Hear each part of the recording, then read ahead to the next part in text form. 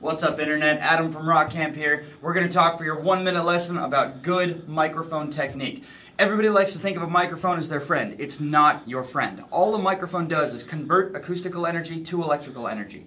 In order to help it do its job, there are two things we have to remember. Number one, stay close if we are trying to sing into a microphone that is this far away from us, we are competing with everything that's happening around us for that microphone's attention. It can't focus all it can do is replicate the signal that we're putting into it. Number two, we have to give it a strong signal to put in. So even if you're up close, if we're really, really quiet and getting up in that microphone, that's all we're giving that microphone. That's all it can send to our PA. We have to make sure there's always a strong signal that's going into the microphone. That way we have always a strong signal coming out. Keep your friends close and your microphones closer. That's one minute.